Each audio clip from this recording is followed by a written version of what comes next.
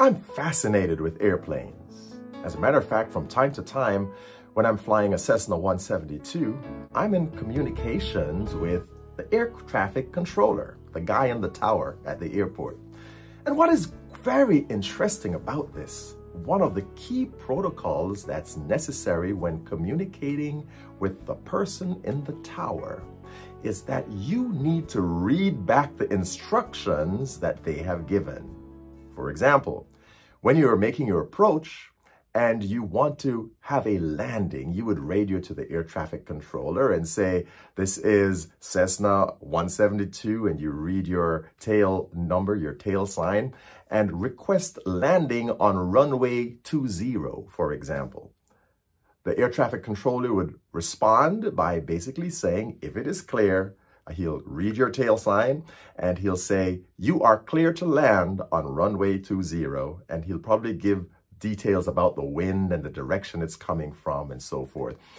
But he expects the pilot to repeat what he heard. The reason for this is the pilot, the air traffic controller needs to be sure that the pilot has heard his facts correctly. And that is one of the things that we have encountered as we seek to know the will of God. We're going to discover today that in knowing and seeking the will of God, that we must be correct in our facts. Our facts must be correct. The reason is, sometimes if we get our facts wrong, we could be wrong, but as in the case of an airplane, you could be dead wrong. As Christians, we are in the battle of life and the battle for life. And so we need to ensure that our facts are correct.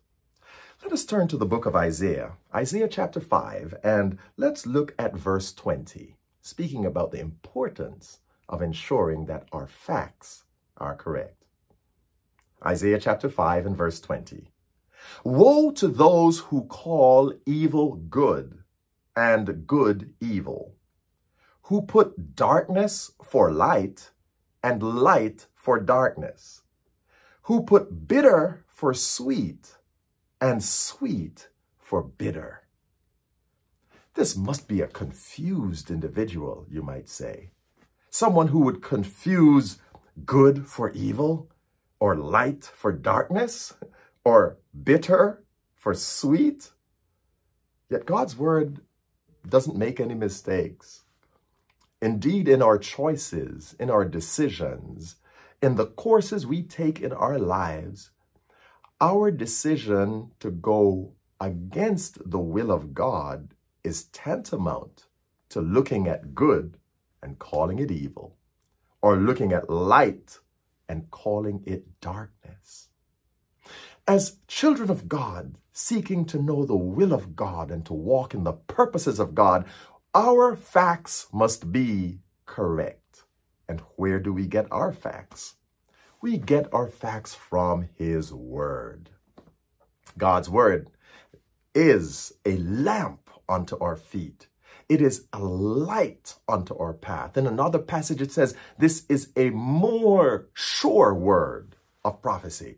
It is correct. It is accurate. It has been tested and proven time and time and time again it has been uh, the, the bulwark of people for generations, for millennia. This word is correct. So as we align ourselves with the word, then we are walking in wisdom. We are walking in light. We are calling good, good, and evil, evil. We are calling light, light, and darkness, darkness. We are calling sweet, mm, sweet, and bitter, bitter, because we are aligning with God's word. This is really important. And over in the New Testament, when uh, the, the Apostle Paul was writing to the Corinthians in First Corinthians um, chapter 1, and let's look at a few verses there where he was trying to re-emphasize and reinforce a very similar concept, that we should, that we can trust God's wisdom. That we indeed can put confidence in that word. We need to ensure that our facts are correct.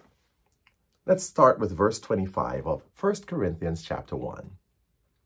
Because the foolishness of God is wiser than men, and the weakness of God is stronger than men. For you see your calling, brethren, that not many wise according to the flesh, and not many mighty, not many noble are called. Hmm. But God has chosen the foolish things of the world to put to shame the wise. And God has chosen the weak things of the world to put to shame the things which are mighty.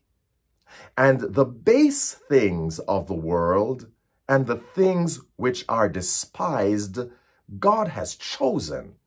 And the things which are not, to bring to nothing the things that are. That no flesh should glory in his presence. But of him you are in Christ Jesus, who became for us wisdom from God, the righteousness and the sanctification and redemption, that as it is written, he who glorifies, let him glory in the Lord.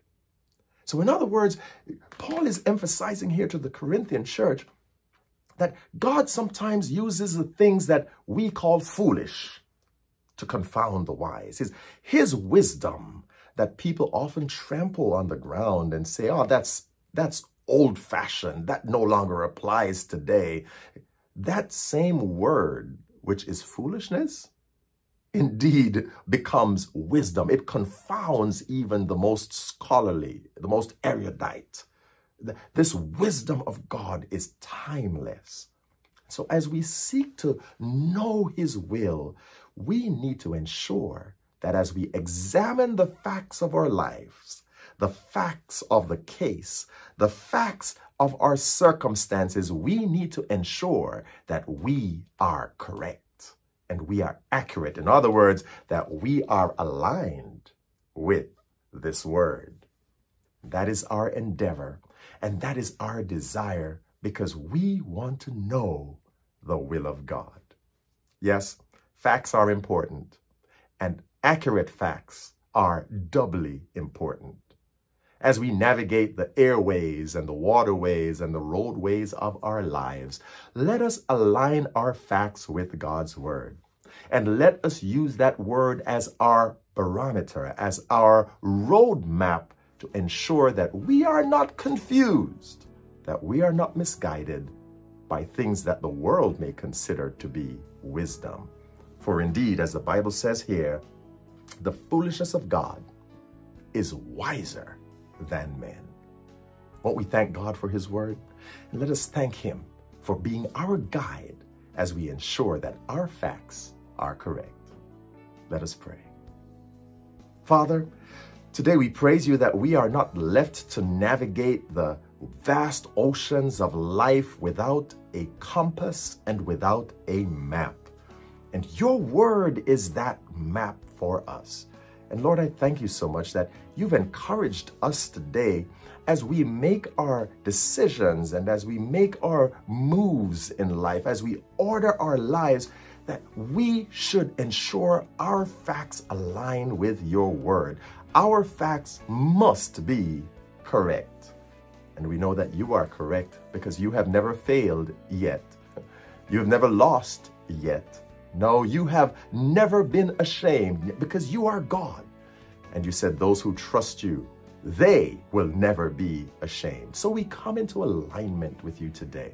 We thank you for leading us through this experience and this process. We would know your will and we would do your will. Strengthen us, empower us, elevate us, illumine us, we pray, by your Spirit divine. In Jesus' name. Amen.